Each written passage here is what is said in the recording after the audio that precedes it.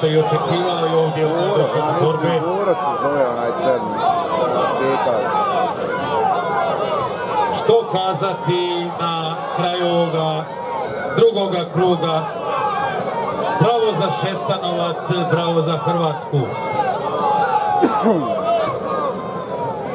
Bija- Bikijade u ovom kraju su davno zaživile, žive danas, e, živjet će mnogo. Dobra borba.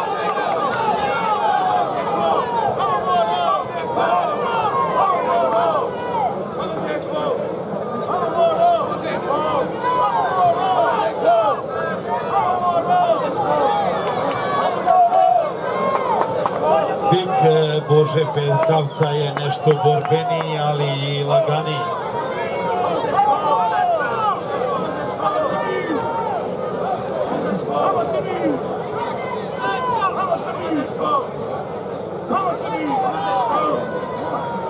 No, međutim, Božo je kazao, ja idem prvo da podržim, da podržim prijatelje, da podržim bikijade, a onda sve ostalo. No, sačekat ćemo da vidimo još ovaj razvoj samoga događaja, ko će biti bolji, ko će biti jači, ko će izvojevati pobjedu u ovoj borbi.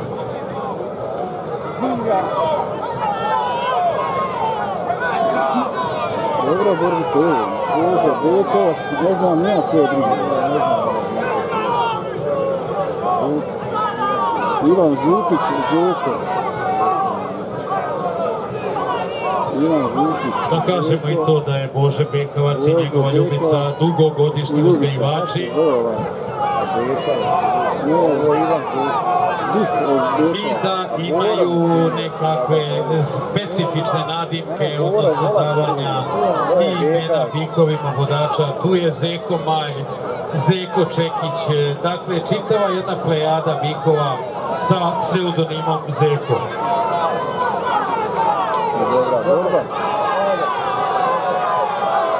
Evo, čopajte se. Evo, Evo je prava stvar, kada se ne traži pljesak, dogodi. To je jedna onako spontana nagrada za bikove vodače i njihove vlasnike.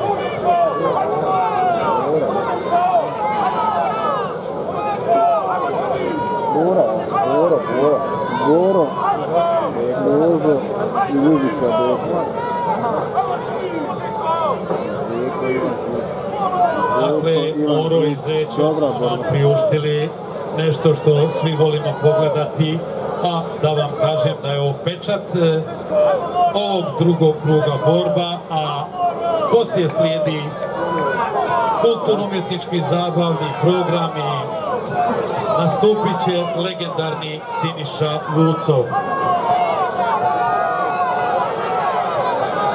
Kazat ću vam i to da mi je iskreno gužda najavim Vucu. Čovjek koji je gostovao na mom jednom dokumentarnom filmu, čovjek s kojim sam proveo jedno lijepo večer, družili smo se, a rezultat je bio napili smo se oba.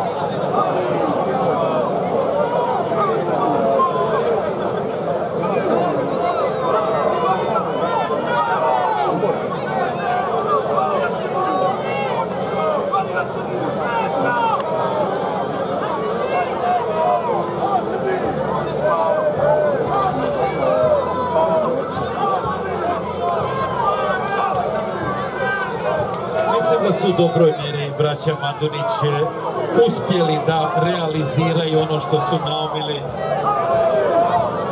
da naprave dobre borbe, dobru bikijadu, da skupe puno ljudi koji će se družiti i uživati u današnjem prelijepom danu. Inače,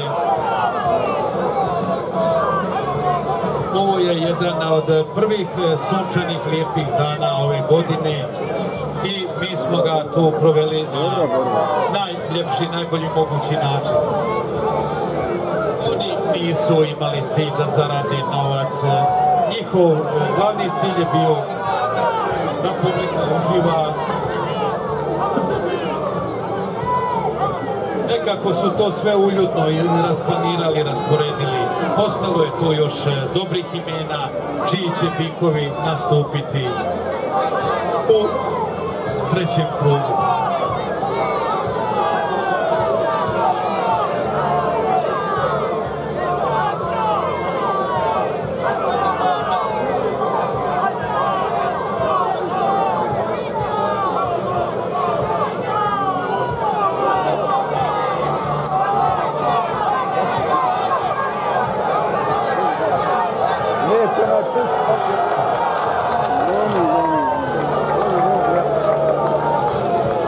Evo dobili smo i pobjednika ove borbe, da kažem ove izuzetne borbe, gdje su Župići izašli kao pobjednici i na neki način zapečatili ovaj drugi krug.